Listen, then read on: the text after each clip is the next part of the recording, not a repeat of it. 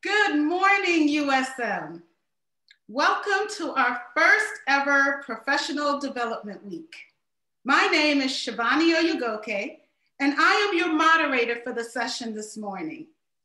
I am thrilled to have you all here today to kick off the USM Professional Development Week. The training committee, made up of representatives in HR from across the system, have been working for months putting together this week for you. So, what is Professional Development Week, you ask? Well, this is about you, our employees, staff, and faculty. This is a week of knowledge building workshops designed to broaden and advance your skills for improved professional, and personal well being. Because who doesn't want to feel good at work? Writer Annie Dillard once said, How we spend our days is, of course, how we spend our lives. And for so many of us, a large portion of our days, our weeks, our months, and our years are spent in the workplace. The average person spends roughly 30% of their entire life at work. So with this in mind, our team of talent development professionals put together a week of workshops to take care of the whole employee. With workshop, with workshop titles such as Navigating Uncertainty with Grace and Ease, Cultivating Your Network, Servant Leadership, and Keys to a High Trust Workplace.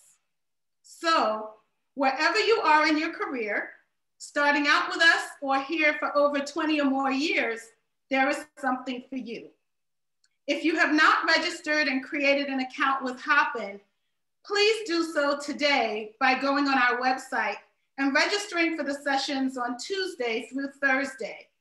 Don't miss out on these exciting workshops tailored just for you. Your campuses have all pitched in to make this conference completely free to you. So be sure to let your HR staff know how much you appreciate them. Go ahead and send a quick thank you to your favorite HR representative. They can use all the positive emails they can get. The conference will run from Tuesday to Thursday on the Hopin platform, and there will be opportunities for you to network with other USM employees throughout the week. It's kind of like speed dating with your fellow USM colleagues both faculty and staff. Who knows who you'll meet? And so as we're putting together these incredible workshops, we knew we had to kick off this week with some very special guests. And so without further ado, I'm delighted to introduce the incredible panelists who took the time out of their busy schedules to join us for a discussion around reimagining the USM workplace in 2021 and beyond. Introducing our panelists from the University of Maryland School of Public Health, Professor and Dean Boris Lushniak. Welcome, Dr. Lushniak. We are pleased to have you here with us today. Great. Thank you for having me here. I'm really excited about being here and having this great discussion this morning. Great. From the University of Maryland, Baltimore, Roger Ward, Interim Provost, Executive Vice President, and Dean of the Graduate School. Welcome, Dr. Ward. They're sure keeping you busy at UMB. They try, they try. Good morning. It's a pleasure being here. From the University System of Maryland Office, Senior Vice Chancellor for Academic and Student Affairs, Joann Boughman. It's wonderful to have you here, Dr. Boughman. Great to see you. Thank you so much, Chevonie, and thank all of you from across the system for joining us this morning. Thanks. From the University of Maryland, President Darryll Pines. Welcome, President Pines. It's an honor to have you here. Good morning, Chevonie, and good morning to all of the participants from across the system, and thanks to everyone for putting on this workshop. And last, and certainly not least, our very own University System of Maryland Chancellor, Dr. Jay Perman. Thank you for joining us today, Chancellor.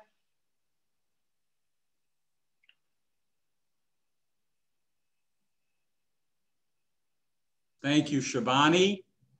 Uh, thank you to my esteemed colleagues on the panel uh, and special appreciation uh, to everyone on the HR Training Committee uh, for putting the week that you just heard about together. Uh, much appreciation, much appreciation to the HR teams across the system uh, for the support that you've provided throughout the pandemic. Uh, th this is such a vital topic that we're discussing today. Uh, I think in, in, in essence, what we're asking is what's the future of work? And a lot of what we're reading, all of us, focuses on things like the ascendancy of telework, maybe a workday that's more flexible, whose hours aren't the same as we've typically set them. And those are all valid things to talk about. We should talk about them. Uh, you know, we probably haven't undertaken a broad restructuring of work in this country since we introduced the weekend. And that was a long time ago. Uh, but I want to kick things off by talking about what I've learned uh, about work since the pandemic began, what I've needed to be productive and engaged. And as Chevonie said, happy at work. It's important that we be happy at work. Uh, and of course, what the system has needed to keep its mission front and center. Uh, there's a risk in this. You know, I can't pretend that I'm not the chancellor. So, in my role, whatever I say can sound like some sort of pronouncement. Please, please don't take it that way. Uh, I'm not issuing any edicts or making policy. That's for the institutions to do as well. My comments are personal.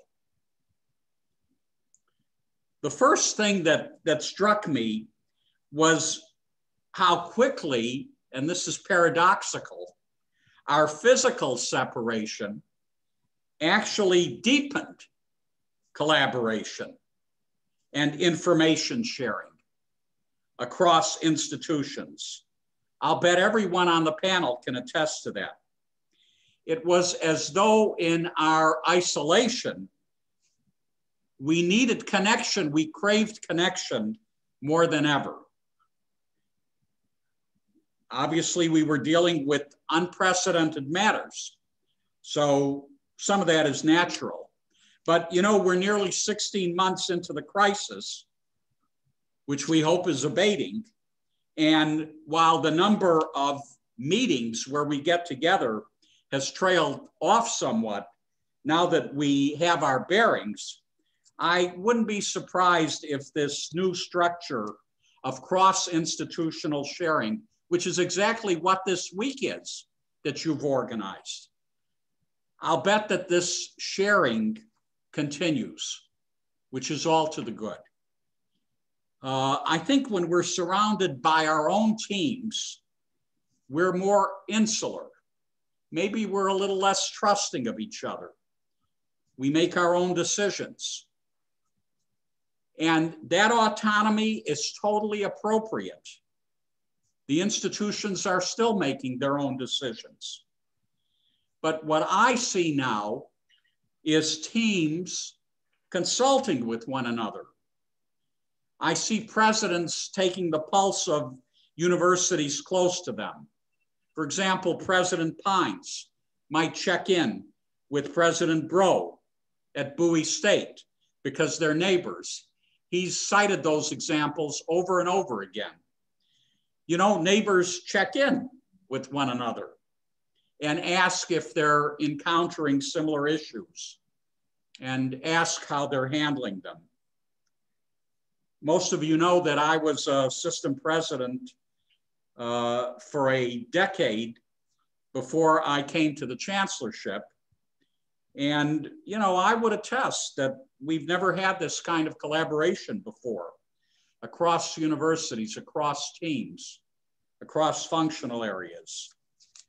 It's different right now, and it feels different in a way uh, that will probably stick. But if my first revelation of the pandemic was that you don't need physical proximity for deep collaboration, and remember, this is personal.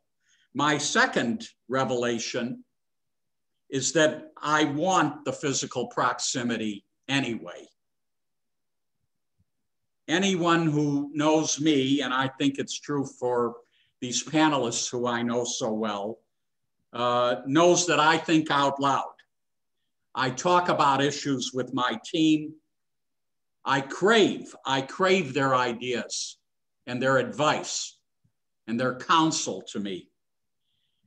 And yeah, you have the phone, you have Zoom, but boy, I still want to be able to walk into a colleague's office and have the kind of meandering conversation that is far more easy to have in person. You know, the kind of discussion that doesn't have an agenda, but always seems to produce thoughtful outcomes. I don't want us to lose that. I know I personally don't want us to lose that. Let me flip the switch again, though, and say that why, while I value the ability to talk face to face with coworkers, I'm more acutely aware than ever of the inequities that come into play. And this is something we need to keep on our minds. When some people work on site and some people work remotely. Those people on the phone, when all of you are gathered around in the office, or the people on the Zoom call, when the rest of us are gathered in the office.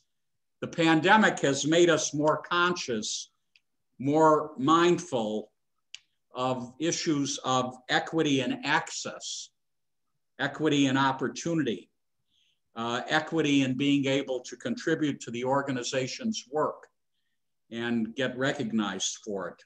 So I'm teeing this up for you if organizations continue some hybrid environment, to whatever degree that's possible, these are the things that are going to need to be kept in mind. Uh, are we giving every employee the same work and advancement opportunities? Are we favoring employees we see over ones that we don't? Are we sharing praise equally?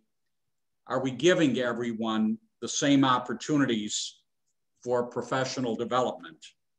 Uh, I know my colleagues have thought about these and other issues. So like you, I'm eager to hear from them. Thank you. Chancellor Perman, as always, it is wonderful to hear you speak about and to our faculty and staff of this great system. And thank you for giving me such a great opening to my first question for our esteemed panel. This question on the topic of vision will go first to President Pines. President Pines, how do you envision the USM workplace in 2021 and beyond? Well, first of all, good morning again, Chevonie. Thank you for having me. Um, good morning again to all the participants of this first ever USM Workplace 2021. And thank you to Namrata, Reethi from my institution, but to all the HR leaders across the system. So let me also say congratulations to everyone for making it through the past 16 months. it's been a, quite a challenge, hasn't it? The past year has been filled with extraordinary challenges and opportunities, and the University of Maryland showed re resilience across all schools and fortitude in its continuing its mission to educate and, and conduct research at the highest level um, and to develop the workforce of the future. COVID-19 has had a significant impact on all of us, our students, our faculty, our staff, as well as parents and local businesses. Everyone has had to make adjustments, as the Chancellor just mentioned, during this challenging time. But I'm proud of how all of us have developed new innovate, innovative ways to excel in our virtual environment. So going forward to kind of respond to your question in 2021, I believe um, there are many things that I could speak about, but I think there are four or five critical things that will happen going forward that will stay. Clearly, um, as uh, Dr. Lushniak spoke during the uh, intermission, uh, Zoom was not in our lexicon and it is now. So clearly that will be go, uh, true going forward. But most importantly, as it relates to the workforce and the workplace, family care resources are now critical. Uh, we all struggled with the complexity of the pandemic and the complexity of sort of supporting all of our employees through their very intricate and delicate family life work balance. So we at College Park were fortunate. We uh, created a career, uh, career uh, caregiver workshop um, and organization and working group. And they actually came up with a process and a set of recommendations that we just implemented in the spring of 2021 to help all of our employees, including graduate students, so that's going to stay with us, this new model of family care resources that really became more acute during the pandemic. Number two, uh, towards the issues of feeling included, um, as the chancellor mentioned, and having these equity issues, we are launching, as you have mentioned, a Terrapin Strong program um, in which we'll do an onboarding of all of our employees, all of our students, but towards our values, our traditions, our expectations, and to encourage them to respect one another going forward um, as part of our cultural values. Number three, another apparent issue that will go forward beyond 2020 and post-COVID will be the expansion of mental health services for all of our employees, not just our students. And going in concert with that is an expansion of resources to those from our disabled community, um, because they also suffered during the virtual time period of the pandemic. And then, as we have learned, all learned with Zoom, um, we were also innovative in our ability to deliver instructional services to our students. And we learned a lot with creativity and innovation in virtual learning, hybrid learning, um, and multi, multiple modalities. And so that will go forward positively to help our students um, as we transition uh, beyond post-COVID. So I'm excited about our collective future. It's been a hard year but I have optimism for the post-COVID world that we're going to be working towards in the future. Thank you. Thank you, President Pines. I want to pass the same question on to Dr. Ward. Dr. Ward, what do you envision for the USM workplace?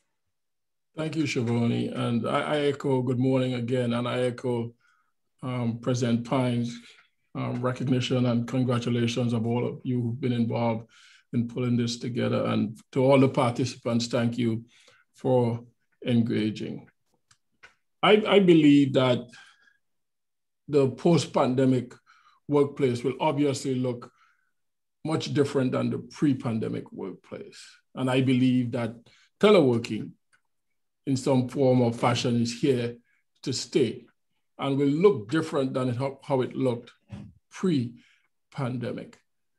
I also believe, however, that how teleworking gets deployed will vary from industry to industry, depending on the needs of the industry, and vary from even from organization to organization within certain industries. And because of that, I think as leaders, and um, Chancellor Perman touched on some of this, that there are challenges ahead of us as leaders of organizations as it relates to teleworking and what it might mean for our institutions and institutions that we lead and the people that work and support the mission of those institutions.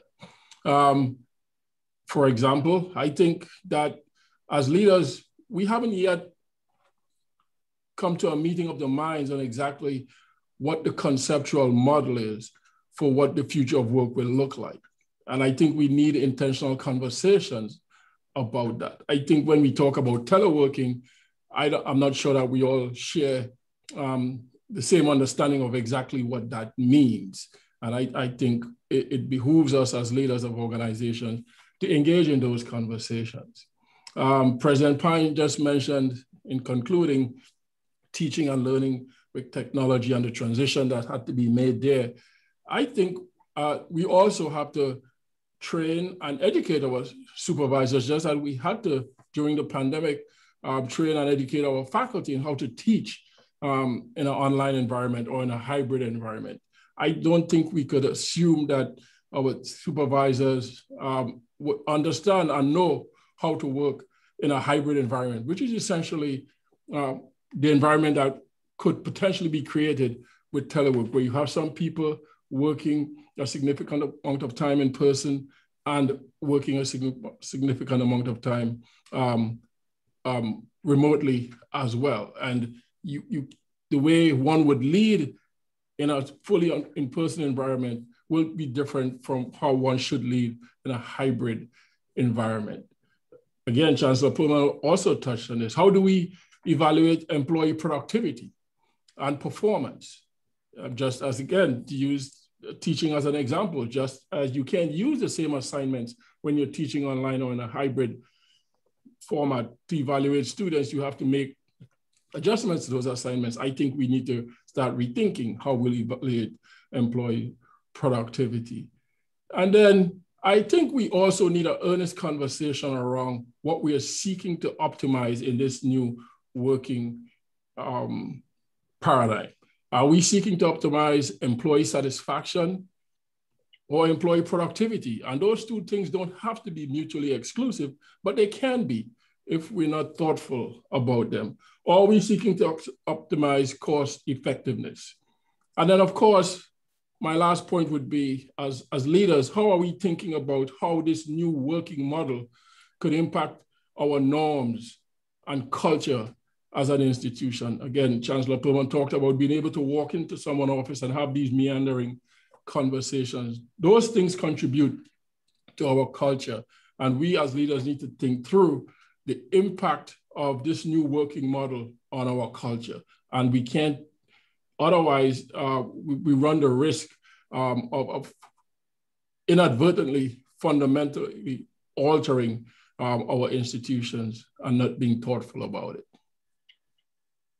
Thank you, Dr. Ward and President Pines for your thoughtful answers. And your comments lead me to my next question on the topic of leadership. Question will go to President Pines first, then Dr. Boughman, and finally to you, Chancellor. President Pines, the question is, what are the leadership qualities you want to see in your colleagues across the system to thrive in the workplace? So I would say um, lots of qualities I've learned that are important during this time and important going forward. So let me just say one of the things that I think has been really important during the time period has been for leaders to have empathy and compassion for all of their employees and all of the stakeholders. I mean, the lifting of restrictions across the state of Maryland, along with the expectations for folks to return to work, is causing some sense of anxiety across all classes of employees. We have instituted a number of intervention approaches to help employees transition back to work. These include virtual sessions to help answer any concerns that our employees have about return to in-person activities in the fall. So, so the big you know, issue there is just having that empathy and uh, understanding and compassion. Second, I want to see my colleagues in terms of leadership continue to display the leadership qualities that took us to survive the pandemic. And that was critical thinking, creativity, and innovation. During the height of the pandemic, I saw incredible partnerships, as Chancellor perman alluded to, more than it's ever been between institutions and the system. I want to see those collaborations continue across academic affairs, student affairs, operations, information technology, healthcare. There were so many incredible partnerships that were born because of the pandemic, and they should go forward in terms of leadership helping us all keep us all safe. Uh, we, we created COVID um, 19 transparent websites for testing, for vaccinations now, and that's been a really good thing.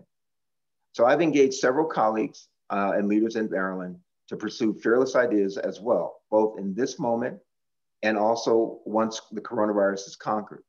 And now I want to charge all of you, all of you who are on in this workshop to do the same. We must move beyond this situation that we're in and start believing in the future of our institutions going forward in the entire state of Maryland and the nation, and for that matter, the world. And so, what I'd like to encourage everyone to be critical thinkers, creative, innovative, and fearless. Thank you. Thank you, Dr. Pines. Dr. Boughman, what are the leadership qualities you would like to see among your colleagues across the system? Well, I'm going to actually overlap with a few things that Dr. Pine said, um, but I'm going to hit on three areas pretty quickly, if that's all right, Chevonie. The first one is awareness, and that is both self-awareness and true awareness of others, which could be termed empathy. Uh, leaders would recognize the challenges and the limits that we are in but then can help folks move beyond those limits with both optimism and energy. And I think all of us are starting to feel some more of that optimism as we make this turn. We need to recognize the gaps in our own skills and in those around us, understand our experience, work to fill them, reminding ourselves that as each of us lifts up ourselves, we lift up everybody along with us. This week is all about uh, professional development and learning about recognizing those strengths and understanding some of those challenges, but gaining new insights on how to move beyond them. The second piece I'd like to mention quickly is push and pull. Now, most people think of leaders as always out in front, um, recognizing the future possibly earlier than some others, showing what can be and showing everybody how to get there. So that would be pulling people along. But I would remind us that we can all be pushed uh, as well. We can facilitate collective action. Some have mentioned this to be leading from behind, if you will. Don't necessarily think it's behind, but moving the entire group forward. It can be gentle guidance sometimes. Sometimes it can be pretty harsh, but we always hope with integrity and honesty that we lead those.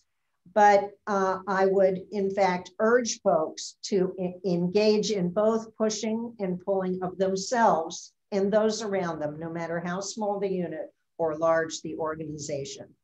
And the third comment that I would like to make is um, great leaders all have gratitude. And I think you've heard several thank yous this morning already. But I think this week is also about gratitude for everything that people have put in during this last year and how we can put that together and make ourselves and the USM, our individual units and institutions even better. Thank you so much, Dr. Boughman. Chancellor, I look forward to hearing about the leadership qualities you want to see in order for a thriving workplace environment. Well, as uh, usual, President Pines and Senior Vice Chancellor Boughman have been uh, their eloquent and thoughtful selves. Uh, and uh, I heard words like empathy, compassion, awareness. These are very uh, inspiring and challenging words. And what I'd like to do with my few minutes uh, is challenge all of you who are needed to be leaders to pay attention to a particular skill that's within all of you, but it's a skill that we all need to hone. And I'm going to come back to this perhaps as we go through the balance of the time. That skill is listening. Listening. I better make a definition here of listening. Uh, you know, listening is defined as the ability to accurately receive and interpret messages in the communication process. So that's a very active process. You've got to put energy into it if you're going to listen. And uh, if you don't mind, I'm actually going to draw on some lessons about listening from my other profession, my, my medical profession. Uh, some of you perhaps heard of Sir William Osler. He was one of the founding physicians of the Johns Hopkins Hospital and Medical School. And he said in the early 1900s, if you listen closely enough, the patient will tell you his diagnosis. How about that? If you take the proper history, if you've listened It's a piece of cake most of the time. Maybe Dr. Lushniak doesn't agree with me entirely. But the patient will tell you his diagnosis. And in all these years, I've learned that again and again. And here's some inside baseball talk. You know, the Mayo Clinic has studied how long it takes for a physician to start listening, taking a history before they interrupt you, before they don't allow you to get the whole story out. I'm disappointed to tell you all that it's less than 20 seconds on average in a primary practice before you're interrupted. Don't do that. Listen. If you want to lead, listen. And by the way, listening doesn't mean agreeing. You know, I can't stand it. I got to tell everybody when I've listened and then somebody says later, You didn't listen to me. Listening has got nothing to do with necessarily agreeing, but you've got to put the investment into listening. That's the mark of a leader. I can guarantee you it will take you far in, especially in these times, in moving us forward and in your leading. Thank you. Wow. Thank you all for your thorough answers. This next question is around the topic of mastery and gets a little bit more personal. Dr. Ward, we'd love to hear from you first. Can you tell us about a time you experienced great upheaval and what aspects of personal mastery you needed? Thank you for that question, Chevonie. Um, it would be very appropriate and, in fact, easy for me in terms of thinking about um, a time where I experienced great upheaval to just cite to, to, to what we're living in now, which is the COVID 19 pandemic, um, because it has been one of the greatest, if not the greatest, ex- upheaval that any of us um, would have, ex- have experienced. However, for me personally, and you said this, this is more personal, more, more than COVID 19, the murder of Mr. George Floyd was even more of an upheaval um, for me um, than the COVID 19 pandemic. Why? Well, because his death and the circumstances around his killing laid bare for the world to see the disparate treatment of Black males and females, for that matter, in this country at the hands of some police officers. In addition, and I would say perhaps even more importantly, it forced many in leadership, including myself, in this country to reckon with the reality that is systemic racism, a topic, a conversation that as a country we have neglected for far too long, I would say. Um, it was an upheaval because it wasn't isolated to one aspect of my identity. I had to deal with that upheaval as a Black male. I had to deal with it as a father. And of course, I had to deal with it as a university leader. And of course, each of these identities, that Black male identity, that father identity, that university identity, each has a different set of expectations and responsibilities and, and a different role associated with each one. In terms of how I dealt with that upheaval and continue to deal with it, um, it required me to master. It's interesting. This perhaps is, is because I've spent way too much time over the last 10 years working with, with, with now Chancellor Perman when he was president at UMB. But actually, one of the, the, the things I needed to master and get better at was the art of listening. Because obviously, you know, the death of Mr. George Floyd spurred a whole lot of conversation and acrimonious conversation at that. People at all ends of the political spectrum had a point of view. And in order to engage respectfully and earnestly, you had to listen to what was being said and you had to listen with empathy. So I also had to master the art of understanding whether or not I agreed with people's perspective, their political ideology, where they were coming from. I had to listen with empathy and be empathetic. I also had to be, of course, earnest in my communication and communicating transparently what I was feeling and how I felt about that as a leader. Um, so, the, so mastering um, the art of communication. And again, not just communicating, but communicating earnestly and transparently. And I had to, to also master being honest about how I was feeling, um, about my anger about around this issue, um, my disappointment, my frustrations, and just being honest in conversations with my family and with the team that I was leading um, so that we could all have these earnest conversations and then figure out how we move forward um, to make this world a better place. Our mission here at UMB is to improve the human condition. And how do we do that? Um, have these hard, difficult, trying conversations in an earnest, honest way, and then help try to, to move us closer towards that mission.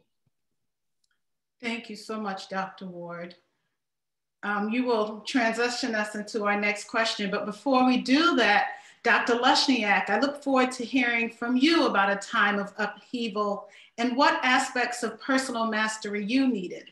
Well, well thank you. And, and again, also thank you for having me here today. Uh, you know, as I was thinking through, right, this whole concept, I, I want to remind the audience, right, the term personal mastery is not something that just sort of, you know, uh, is, is, part of our daily lexicon. So let's let's first emphasize that component. And, and it sounds really highfalutin, right? Personal mastery. And what does it really mean? You know, it talks about the concepts of what? Of living and working purposefully towards a vision. So there's a vision component of personal mastery. And this is at a personal level. It's in essence having that vision that allow, aligns itself with what? With the values, right, that you possess as an individual. And the fact that, guess what? Even amongst all these leaders here today, right? I think you know, we'll disagree about certain things, we'll agree about it, but we will 100% agree with the concept of what? That we are constantly learning in the process of leadership, right? One is never a master of leadership. One is constantly readjusting. And, and, you know, I've done a lot of speaking on the, you know, the concept of leadership, and people are sometimes amazed that in essence is it's a reflection of the concepts of personal mastery and that we've been through various upheavals we learn from each and every one and re, uh, re, readjust with time and, when i thought about you know the examples that i've had you know those of you who know me know i spent 27 years wearing a uniform of the uniform service of our nation the us public health service that was my public health practice component of my life and i look back at the upheavals in public health in this century alone and ones that I personally experienced from a leadership perspective, right? There's the World Trade Center in ground zero in New York, right?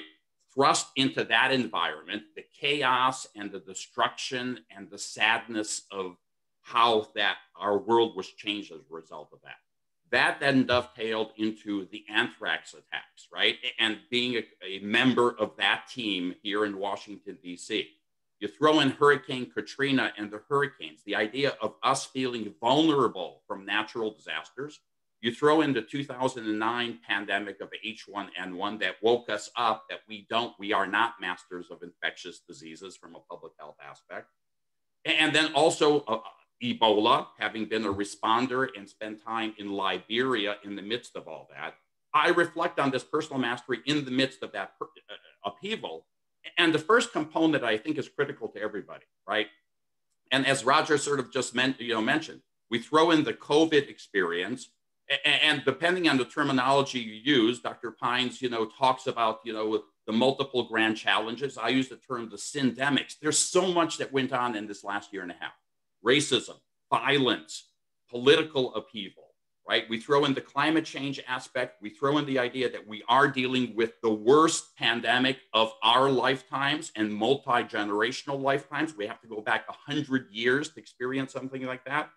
And the first aspect of personal mastery in all these scenarios, the common thread initially from a leadership perspective, but I beseech all our listeners to look at this. Number one is my first reaction to things ultimately are in those first 15 to 20 seconds is, oh my God, I don't think I can handle this. It's fear. It's saying, I've been hit with things before and I don't think I can do this. I got to admit, people sometimes are surprised. You, you know, you've had all this experience, you're fearful. It doesn't last long. It doesn't paralyze me from action, but it makes me reflect, which is okay, take a deep breath. Get yourself into a mood of what is the vision, what is the direction, what is the mission, and how are we going to get there? Second aspect of this is take care of yourself in this personal mastery, right? You can't just get in 100% and say, I'm all dedicated to the mission. It doesn't work unless you're taking care of yourself and your loved ones and your teammates. So when I look at personal, you know, sort of the, the upheavals of society in, in, in, you know, from a public health angle and other things, personal mastery begins here at home, right? It, it, it's often tied in with the other term called self-leadership right? And the concept is get your act together, take a deep breath, and start focusing. But don't forget about two aspects. And one that was mentioned by, by Chancellor Perman don't forget that you have to listen, you can't just talk. And ultimately, you have to take a deep breath every so often and cleanse yourself. Cleanse the mind, relax, and take care of the loved ones around you in the midst of all that. That's personal mastery from my perspective. Thank you so much. Oh, these and wow, wow. I am so happy that we're having these conversations. So happy. I hope these answers are as inspiring to our audience as they are to me. The next question I have is near and dear to my heart. And Dr. Ward, you kind of keyed us up to this. Um, but on May 27th, in a statement on hate speech, violence, and bigotry, Chancellor Perman reminded us, and I quote, the USM is committed to securing equity for all members of our communities, demanding justice on their behalf, and defending the principles on which this country was founded and which it struggles still to honor. Question around diversity, equity, and inclusion, inclusion is for Dr. Boughman first, then President Pines, and finally Chancellor Perman. President Pines, the USM workforce is diverse. When it comes to diversity, equity, and inclusion, what is your vision for the USM and how do we develop employees in order to achieve it? Chevonie, did you want that for Dr. Pines or me first? Um, I'm sorry, Dr. Boughman, please go ahead first, sorry. Thank you. Um, I looked up uh, one of the one of the terminologies here, and uh, the definition talked about explicit and sustained engagement with equity. And as Chevonie said, and as the chancellor has clearly articulated, the USM and your own institutions deeply believe in these terms and are working toward that. We can point to some diversity things. Seven of our 12 presidents in the USM are African American. I would point out only three of 12 are women. So we have some work to do, ladies and gentlemen. But I want to remind us that we have come a long way. Uh, over 30 years ago, when I became a tenured full professor at the University of Maryland School of Medicine, there were about a thousand faculty, and I was the seventh female to, in fact, reach that. So we have come a long way. We all want to achieve this, but I'm going to bring it back to the personal level, if, if I can, please. Um, and that is awareness and true honesty on the part of each one of us. And I really don't have answers, but I'm going to ask uh, the group some questions that you could ask yourself. I ask myself these questions frequently. What are your assumptions and expectations are of others every day and in every way? Do you expect appropriate, if not exactly the same outcomes from various people? If there has been differential access to opportunity, What are you doing about that today in an interaction or a challenge that you give somebody? Are you always on the lookout for barriers or unrealistic expectations? For example, in student expectations or in a hiring process, have you truly accounted for grit and the overcoming of differential barriers and given people appropriate credit for having achieved what they have achieved? You know those, those tactics and those uh, attributes will serve those folks well in the future. Include them in your assessments as you go through these processes. And lastly, I would ask, are you truly being inclusive and welcoming to those who don't look just like you? In every situation, whether it's a formal meeting, or whether it's one of those spontaneous conversations or meandering conversations that the chancellor talked about, are you truly being inclusive rather than exclusive as you have those spontaneous uh, interactions? Because many new and important decisions are made based on those conversations. So I come back to thinking about this and being aware of it every day and in every way. Thank you so much, Dr. Boughman. President Pines? Uh, thank you, Chevonie. Um, so uh, this issue is very near and, and personal to me. Um, when I became president uh, on July 1st last year, I basically said to our community, based on the incredible year that 2020 was, the syndemics, the multiple pandemics that Dr. Lushniak refers to, one of them was related to the unfortunate passing of George Floyd. Um, but it's an opportunity for us to be reflect and look at ourselves. So I said I had two priorities. Number one was to be an excellent in everything that we do.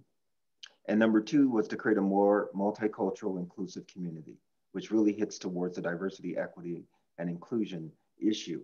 And then with that, I launched 12 initiatives across the campus because I believe as a leader, you can't just talk about DEI and not be intentional in what you really believe and what you think your community needs to move to a better plateau, which is why I launched those 12 initiatives. And one of them was this onboarding program uh, I call Terrapin Strong, which is basically that from the moment you arrive at the University of Maryland College Park, that you would be indoctrinated into our culture, our values, our traditions, and what it means to respect one another and how we can help every citizen, every stakeholder reach their full potential.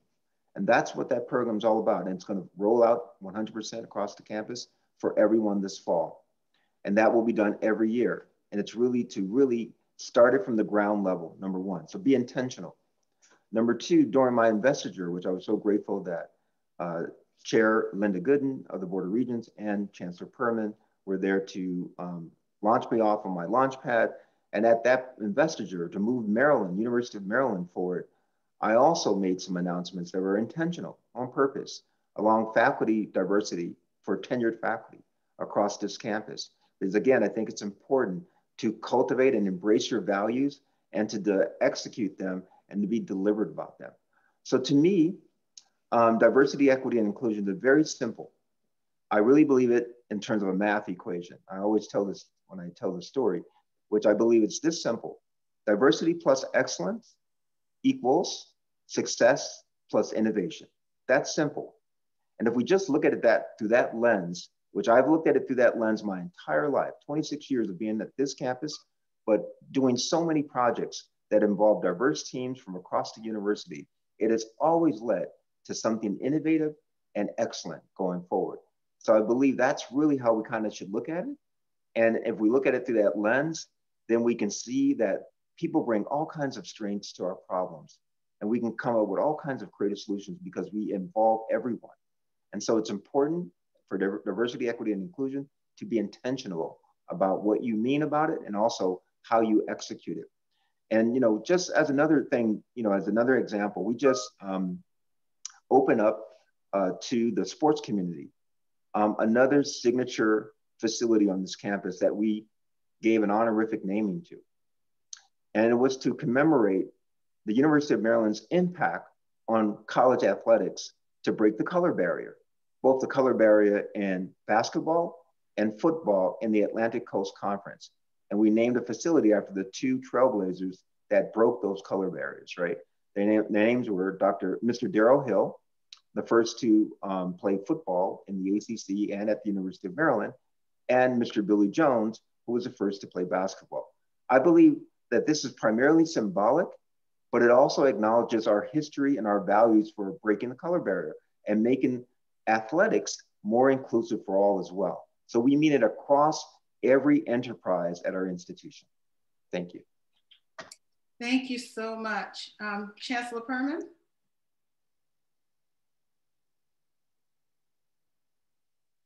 At the risk of uh, perseverating, I'm coming back to listening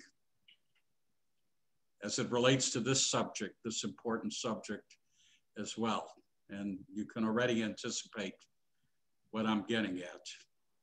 And I'm going to come back again to that medical metaphor analogy. Uh, remember what I told you about Sir William Osler, uh, the importance of getting the whole history, or you're not going to get it. You're not going to understand. Uh,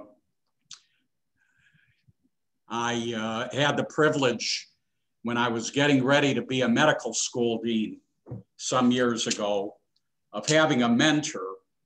Uh, and my mentor was the longtime dean of the University of Colorado School of Medicine, uh, Dick Krugman. Here's the first lesson he told me. He said, if you don't understand a person's behavior, you don't have enough history. He was using that business of making sure you get the whole history. So I was sitting here listening to my longtime colleague, Dr. Ward. And look at what he told us. He told about he told us about the pain he had, the anger he had, the challenge of doing his job while he was managing all of that over this past year. So I listened. And I understand some of the things that I actually wondered about this year because I'm so close to Dr. Ward. If we're going to move the needle on diversity, equity, and inclusion, we're going to have to be better listeners. And I know that some of those conversations are very uncomfortable. They don't fit with your constructs all the time. When somebody says something to you about institutional racism, for example, and you're a leader in that institution, for God's sakes, she's saying that I'm a racist. Those are uncomfortable conversations. But you got to be able to listen, and you need to listen with energy until they finish giving you the history. Chancellor Perman, President Pines, and Dr. Boughman, thank you so much for tackling that question.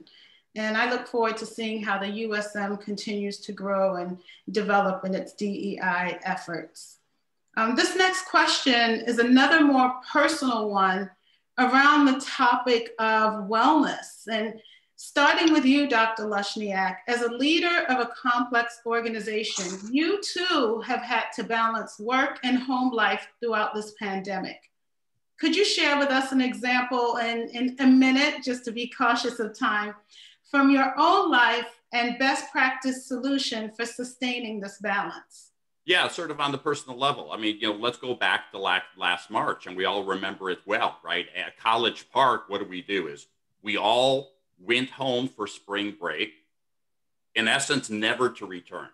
And, and that was not disruption for our College Park community. That was a familial disruption, right? Because all of a sudden, my wife, who's working from home, she's a physician, but is in the chart review world, she's always there at her computer, now has company, and that's me.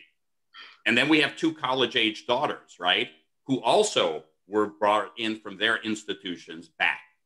And then the reality is that that disruption within the family, you know, there had to be sort of a positive spin on things, right? We're all scared about the pandemic. We're all scared about the syndemics, the, the murder of George Floyd. Everything is disturbing. And yet, what? The ability for us to focus on this is the time and place. We did not choose for this to happen, but what are we going to do about it? And the unity of the family at that point, right? The ability for us to say, you know, we were empty nesters until the two kids came home. Well, I'm now somewhat blessed in the midst of this incredibly disruptive scenario with what? I have unexpected time with my kids. And from a personal wellness aspect, it was realizing what's the positive of this. It was, again, when I talk about health, it's about the World Health Organization definition of health. Complete, complete is key as an adjective. Complete what? Complete physical, mental, and social well being. And so we, in essence, emphasize that. The daily walks into the woods near our homes, even in the midst of the pandemic, wearing the masks, and to see what? To see the family of eagles that has a nest at the lake nearby return yet again, to see the babies born, and this past week to see them learn to fly again, right? that's a sense of us having stability in the midst of instability. And I think that's a key feature. Find out, people of the world out there listening to us, right? 636 of you. What has worked for you? What were the lessons learned in this last year and a half when it came to health and wellness? And continue on that front. This is something we have to learn from. So thank you. Thank you, Dr. Lushniak. So one thing that we learned very quickly, and you, you touched on it, is that for the pandemic, home life and responsibilities were different for many employees. Some employees wrestled with children, both school aged and young adults, others with aging parents, some with neighbors, their, their community, some with pets. So, Dr. Boughman, now to you. When it comes to work life balance this past year or throughout your career, could you share with us an example and best practice solution? Um, I'm going to be uh, a little bit different here, although I really appreciate Dr. Lushniak's uh, comments there. I think they were right on target. Um, I think we need to figure out the difference between needs and wants. And I think that this last year has really put some of that into perspective so that each of us can really assess our lives and those things that we need most. Um, and I'm going to give a very different kind of example. I suffer from migraine headaches. And I knew this last year was going to be a real challenge for me uh, and so on. Um, and I'm not always very good at this one. I will push and push into a migraine, but I've surrounded myself. I've been smart enough to surround myself with people who recognize uh, the, an oncoming migraine in me before I do. And I have been able to say, I need your help in assessing this so I can avoid it. What that does is brings me back to, uh, I think, the fact that you aren't any good for anybody else unless you're good for yourself. And for those of you who've flown on airplanes, I think this is a, a lesson for life. They say put your own oxygen mask on first and then help others with theirs. I think that's a, a, a story that all of us can live by you have to take care of you so that you can take care of others.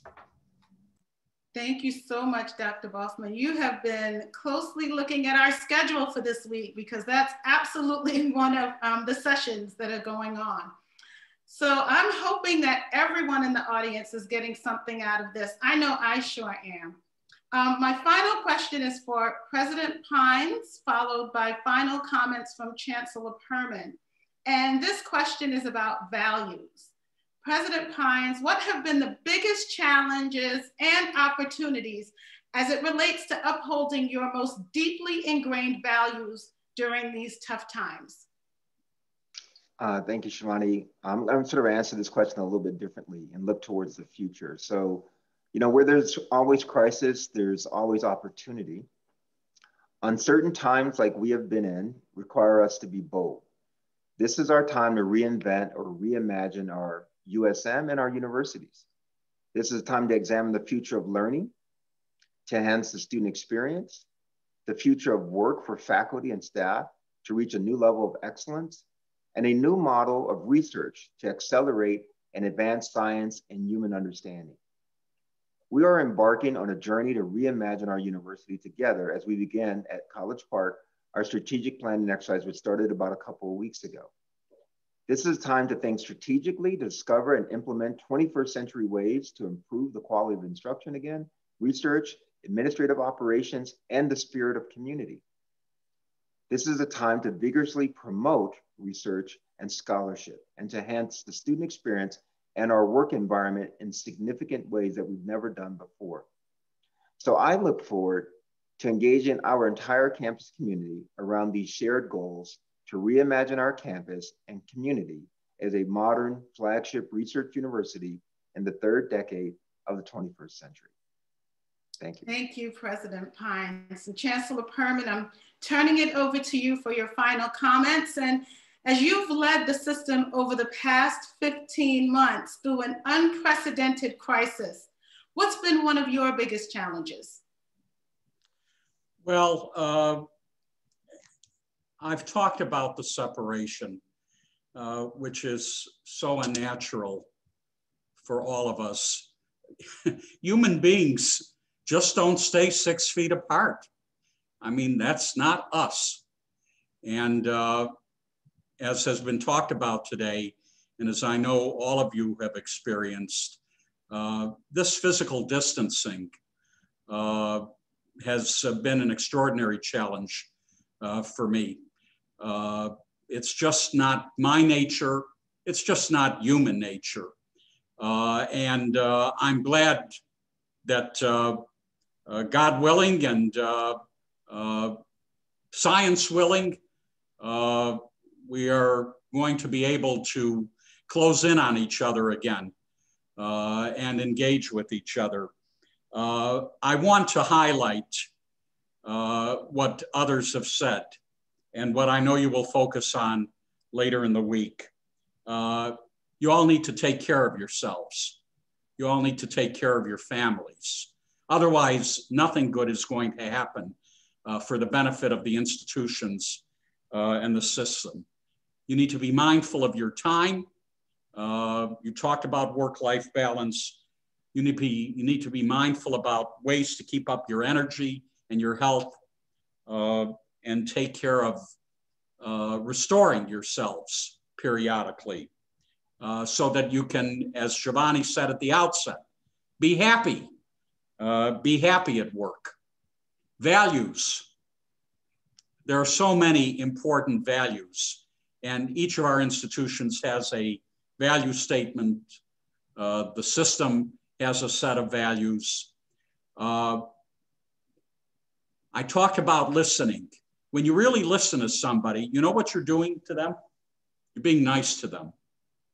And uh, I don't care what you call it mutual respect, civility. Nice is an important value. Uh, we'll solve a lot of these problems if during these difficult times and the times ahead of us that are going to be difficult, uh, we pay attention to being nice to each other.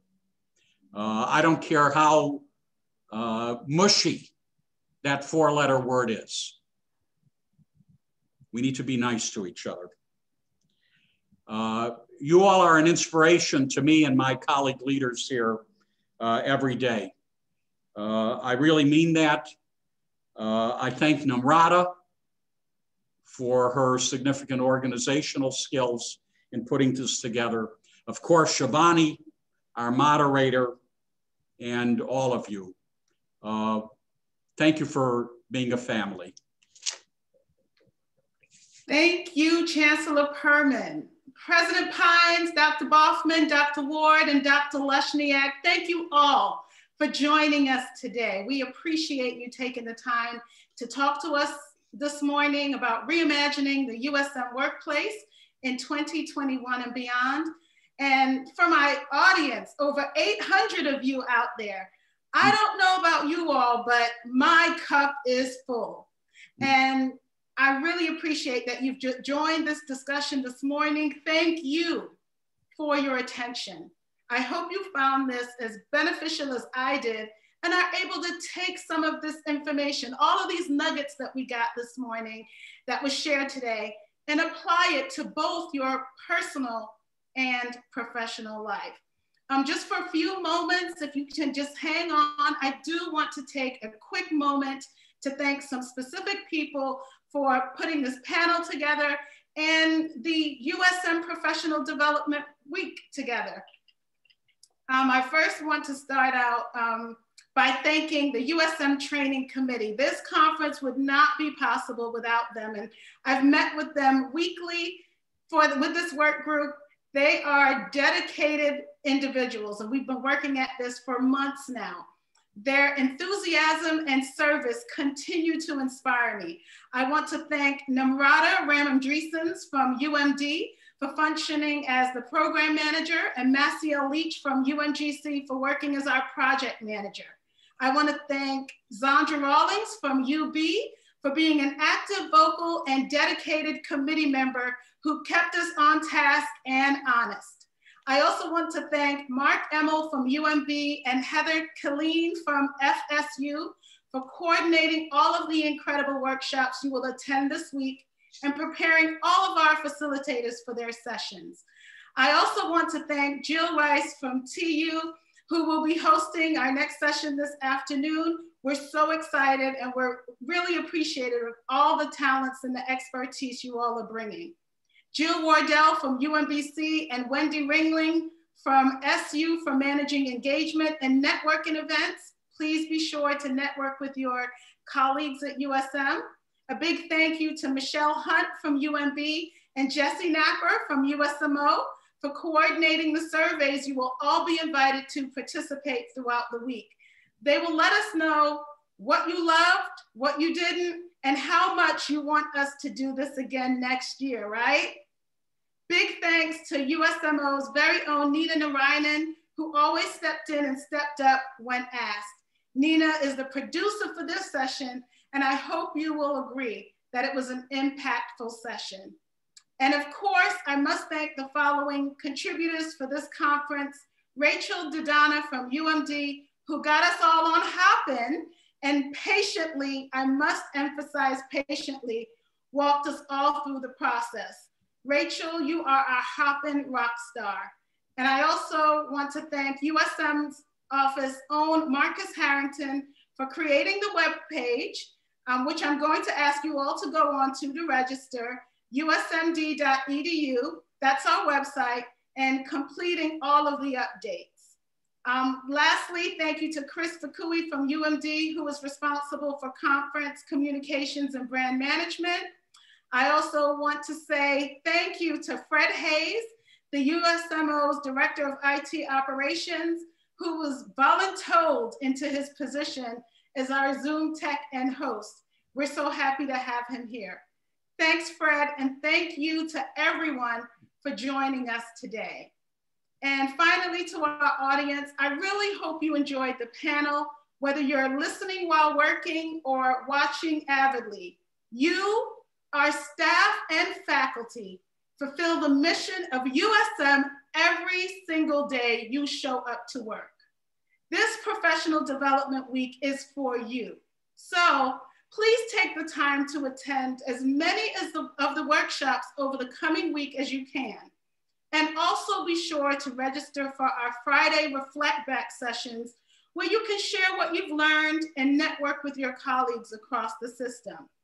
If you haven't yet, again, go visit our website on this slide and take the time to register on the Hopin website shown here. Registration is quick and easy and free. Please make sure when you're registering to select the campus you work for. There may or may not be a friendly competition among our talent development professionals. So make sure your register, registration counts. Happy Professional Development Week, USM. Stay healthy, stay well, and remain engaged. Thank you.